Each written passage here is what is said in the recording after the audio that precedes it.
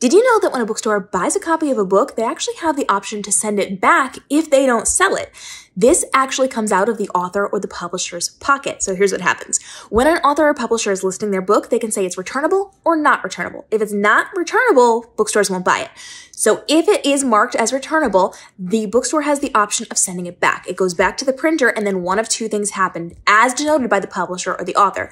Either they destroy the book on site and it comes out of the author's pocket, the author has to pay for it, or it gets shipped to the author at the author's expense, also having to pay for the book. So if a bookstore store purchases a bunch of copies and can't sell them all, sometimes they're going to ship those things back and it's going to be at the expense of the publisher or author. The more you know. Follow for more publishing tips.